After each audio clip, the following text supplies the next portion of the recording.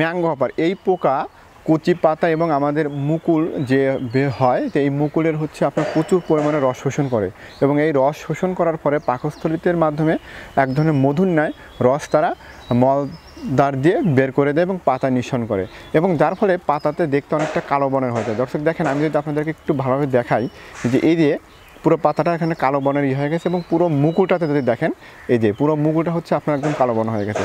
এই, এইখানে মধুর ন্যায় রস নিঃসরণ করে যার ফলে আপনার সুটিমোল ফাঙ্গাস, সুটিমোল ছত্রাক এবং কালো ছত্রাক নামক ছত্রাক পরে যা আপনার উদ্ভিদ সারাক সংশোধন প্রক্রিয়াকে বাধা দেয়। শুধু তাই না এই ম্যাঙ্গো হপার এক ধরনের টক্সিক সাবস্টেন্স সিক্রেট করে, যার ফলে মুকুলগুলো মরে যায়। তো দর্শক দেখেন, আপনি যদি মুকুলগুলোকে দেখেন, প্রত্যেকটা মুকুল কিন্তু একটা আমদ হয় এবং তারা পড়ে গেছে। এবং আপনি যদি আরও একটু কাছ থেকে দেখেন দেখেন যে কত এই যে পোকাগুলো দেখেন এখানে আছে।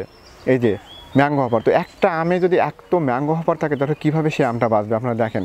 আমি যদি প্রত্যেকটাতে দেখাই এখানে, এই যে এবং দেখেন, আমি যে মধুর ন্যায় যে রসের কথাটা বলছিলাম, আমি যদি আপনাকে একটু পাতা ইয়া করে দেখাই। দেখেন, এই যে দর্শক, এই যে এখানে আমের পাতাতে যে মধুর ন্যায় যে রসে যে এটা দেখতে কিছুটা যে আঠারো বনের এই যে। এই যে দেখতে কিছুটা আঠারো বনের এই যে। ম্যাঙ্গো হপার বা আমের শোষক পোকা, এই পোকাটা আপনার দেখতে সাদা অবস্থায় বা নিম অবস্থায় কিছুটা সাদা বা ব্রাউন কালারের, আর যদি এটা বড় হয়ে যায়, তাহলে সেই পোকাটা আপনার দেখতে কিছুটা টামাটে। এই পোকাটা সাধারণত আপনার থ্রি পয়েন্ট ফাইভ থেকে ফাইভ পয়েন্ট ফাইভ মিলিমিটার লম্বা।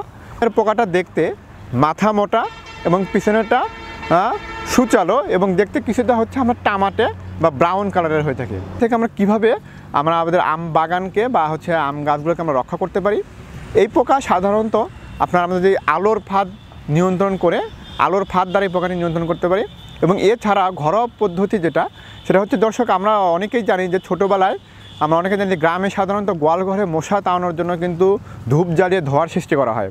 তো আমরা যদি বাগানে এই ধূপ জ্বালিয়ে যদি ধোয়ার সৃষ্টি করি তাহলে এই পোকা থেকে আমরা কন্ট্রোল করতে পারি এবং এই মুকুল আসার আগে অবশ্যই সাইফারমেথিন, অ্যাবামেকটিন, বেনজয়েড বা ইমিডাক্লোরোফিট গ্রুপের যে কীটনাশকগুলো বাজারে পাওয়া যায়, সেগুলোকে কে পাতার উপরে, নিচে এবং পুরো গাছেও স্প্রে করতে হবে। আমাদের গাছে স্প্রে না করি, তাহলে দেখা যাবে যে কিন্তু আপনার গাছে যে ছোটো ছোটো যে ফাঁকা জায়গাগুলো আছে, সেখানে কিন্তু পোকাগুলো কিন্তু অবস্থান করবে। তো মুকুল দর্শক অবশ্যই একটা জিনিস খেয়াল রাখতে হবে, যে অবশ্যই যেন মুকুল আসার আগে স্প্রে করতে হবে। কোনো অবস্থাতেই যখন মুকুল ফুটে যাবে, তখন কিন্তু স্প্রে করা যাবে না। কারণ ওই সময় যদি আমরা স্প্রে করি, বিভিন্ন পলিনেশন যে এজেন্ট, বিভিন্ন ছোটো ছোটো কীটপতঙ্গ, পোকামাকড় বা মৌমাছি যারা আছে, এরা কিন্তু পরাগায়নে সহায়তা করে।